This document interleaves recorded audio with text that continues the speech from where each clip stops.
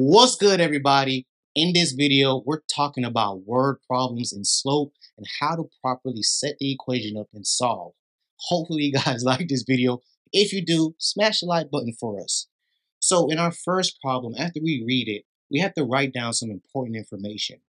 So we know that we spend 15 cents per picture, right? But we don't know the amount of pictures that we're going to buy. That's that's what the problem's asking us. So our variable x is going to be the number of pictures. Now, there's two other pieces of information. We have a, a, a flat flat fee shipping rate. I'm sorry, of three dollars. Right. So this is our flat fee. Let's just put flat fee. And then we know that we only have $35 to spend. That looks so ugly. So now that we have all the important information, how do we solve this problem? Well, for one, we're using the formula y is equal to mx plus b. And what we're trying to solve for is x, the number of pictures. And remember that y is a dependent variable. So based on a certain number of pictures, we're gonna have to spend a certain amount of money. The amount of money we have, they told us, is a $35 budget. So I know 35 is equal to the cost per picture times the amount of pictures. And then once we make an order, we always have to pay that flat fee of $3. So now that we set the equation up, we could solve for x like a regular equation. So I subtract 3 from both sides. And what I have is going to be 32 is equal to 0.15x. And once I divide by 0.15, we're going to get, let's get grab the calculator.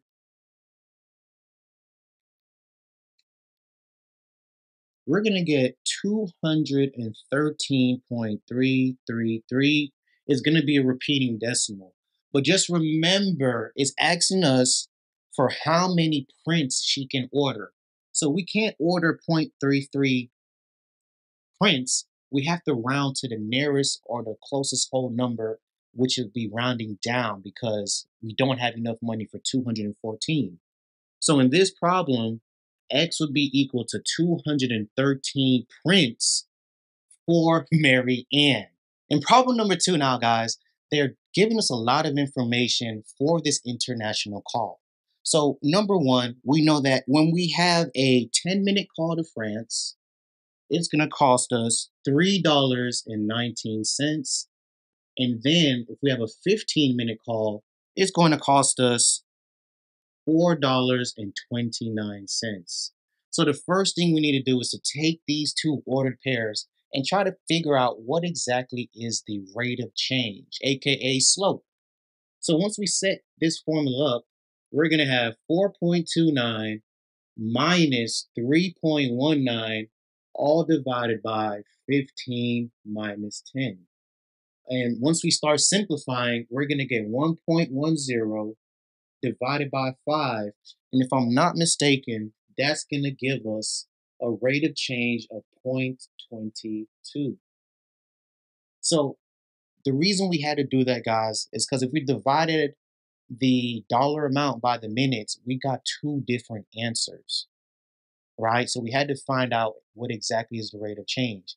Now, in the second part of this problem, we're going to use the point slope formula, which is y minus y1 is equal to m times x minus x1.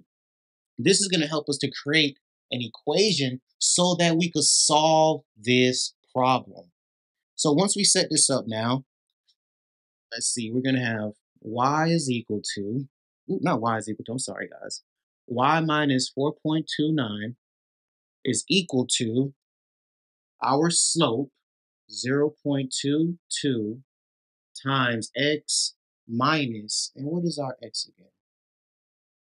15. All right, just wanted to make sure. So now that we set this up, understand we could have used the other ordered pair 10, 13. We would get the same answer.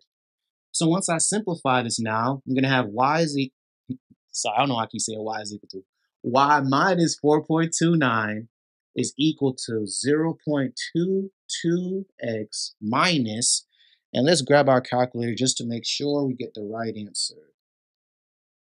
All right, minus 3.3. Now this turns into a regular equation, guys, and we're just trying to get to that final format of y is equal to mx plus b. So when I add 4.29 on both sides, the final equation is going to be y is equal to 0.22x, let's see, plus 0.99. So this is the equation we're now going to use to determine the cost of a 12 minute call to France. All right, so let's do some erasing. So when we go back to the top, I'm going to switch back to black now. We're going to use this equation and we're going to plug in 12 for x. All right. So once we go back, we're going to have y is equal to 0.22 times 12 plus 0.99. And once we do this, we're going to get y is equal to, let's grab the calculator one more time. Let's see, 0.22 multiplied by 12,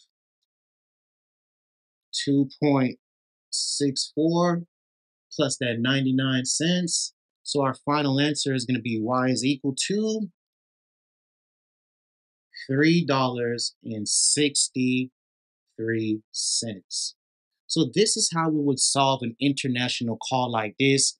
Tell us if you have any questions on this problem. I know it could be tricky. It's so much to say and explain in this one problem, but we're going to go ahead and go to the next problem on slope. Problem number three, we're dealing with airplanes and how long will it take the airplane to reach the ground. So number one, we know the airplane is 30,000 feet, 30,100 feet above ground. And it's telling us that the plane is descending, meaning it's going down at a rate of 2,150 feet per minute. So what I'm going to do is put a negative sign out in front because we have to understand that when we say descending, that means we're going down. That's like a negative slope. All right. And that's important because we're using the slope intercept form, formula, which is y is equal to mx plus b. So when we look at this right now, guys, we know we know what our slope is, but we don't know the amount of minutes. How long is the plane in the air? That's what they're asking us for. That's the unknown. So x is equal to number of minutes. Okay, so the problem asks us to write and solve an equation of how long it will take the plane to reach the ground. So when we set this equation up, we would have y is equal to negative 2,150x plus 30,100. And the reason why this is our B, guys, is because we're already in the air and we want to know, hey, to reach the ground, y, which is really zero, how long would it take?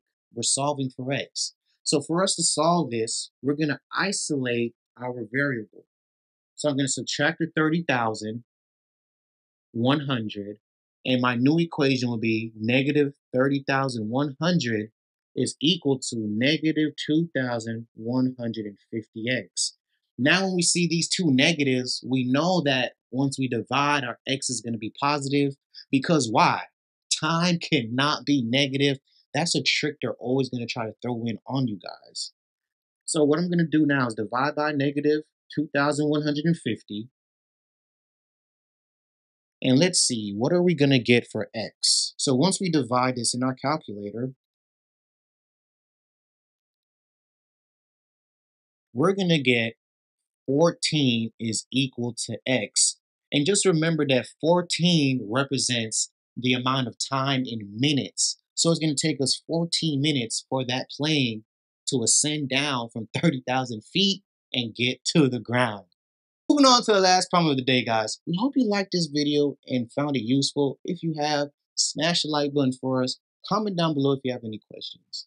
It asks us which line is parallel to 5x minus 2y is equal to 18.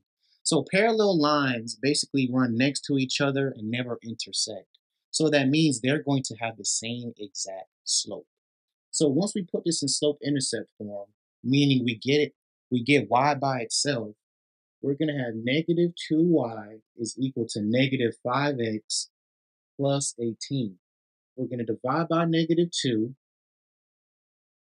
And then our final answer would be y is equal to positive 5 over 2x minus 9. So now we're going to look at the answer choices that has the same slope. And we notice that only C has a five, positive 5 over 2 slope. So this would be our correct answer. But before we go, let's say it asked us for which line is perpendicular. So perpendicular lines is going to have a negative reciprocal. So after we take the reciprocal, meaning we bring the top to the bottom, bottom to top, our slope would be 2 over 5, and then we would have to make it negative. So if they ask for a perpendicular line, we would look at B as our answer choice because that's the negative reciprocal of 5 over 2x. Hope this video was helpful for you guys. Subscribe to the channel and thank you guys so much again for watching Algebra 1 with Mr. Peters.